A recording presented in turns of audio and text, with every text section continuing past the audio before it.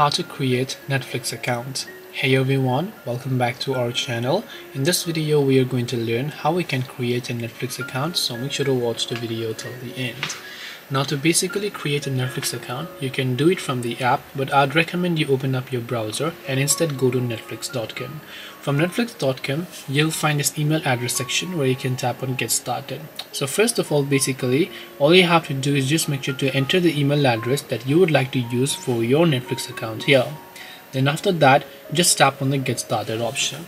After you do that, it will say finish setting up your account. So tap on the next button then you have to simply create a password. After you create a password from here just go ahead and then simply make sure to enter a strong password or whatever password you have. Tap on next. Then it will take you to the page where you can simply enter your payment details. Once you enter your payment details you will have successfully created netflix account. That's all it takes to create netflix account.